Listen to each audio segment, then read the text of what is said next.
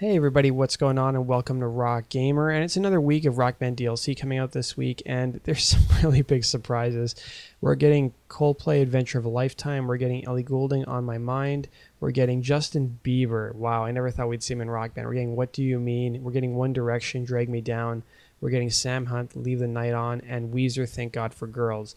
So that'll be releasing tomorrow. And as always, guys, tune into my channel tomorrow and I'll have a full review of all these DLC tracks. That does it for today's announcement. Thanks for watching. And as always, make sure you subscribe for the latest Rock Band 4 Guitar Hero Live and Amplitude news. Take care.